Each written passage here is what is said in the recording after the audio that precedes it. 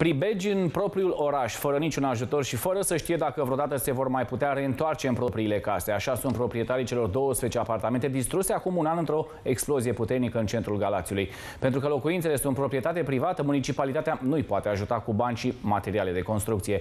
Oamenii încă stau pe la rude sau vecini în momentul acesta. Uitați peretele ăsta și ferește. Astea doi, ce să vă spun, aici este dormitor. Pereți de rezistență, așa zice.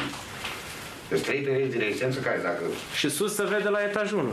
sus normal, da, e cea mai umflată încăpere. Pereți gata să cadă și găuri între etajele apartamentelor. Așa arată imobilul la un an de la explozia care a zguduit scara 5 a blocului N6 din centrul orașului Galați.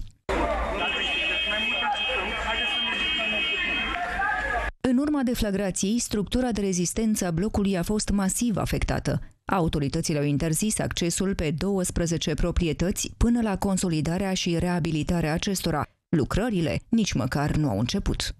Din păcate, la un an de zile de când uh, am uh, asistat la nefericitul eveniment, uh, în continuare nu ne putem întoarce acasă. Nu aveți voie să locuiți. Nu avem voie să locuim.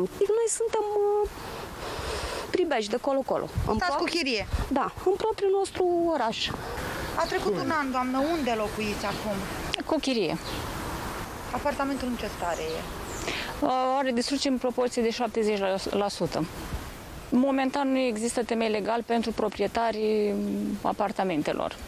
Primăria nu poate acționa. Cu patru zile înainte de explozie a fost într-adevăr închisă strada domnească. Strada atunci a fost închisă de ce? Mirosea gaze? Da, Tot pe drumuri. Problema este că nu vedem o luminiță, nu vedem un ajutor. Ce să vă spun, a- noi cerim, acum am cerut bani, nu. Cu toate că ne-ar ajuta. Cu bani se rezolvă problemele. Să ne ajute cineva cu un suport juridic. Să ne ajute cineva cu un ONG. Am apelat la un ONG, două care au picat. Noi cerem sprijin cu materiale, cerem sprijin la o firmă de construcții. Din păcate, cadrul legal nu permite municipalității să uh, uh, intervină mai mult, să ofere mai mult, inclusiv din punct de vedere financiar, întrucât în situația de față vorbim despre proprietate privată. Nici măcar acum nu se știe cu certitudine ce a provocat explozia. Cercetările continuă la parchetul de pe lângă judecătoria Galați.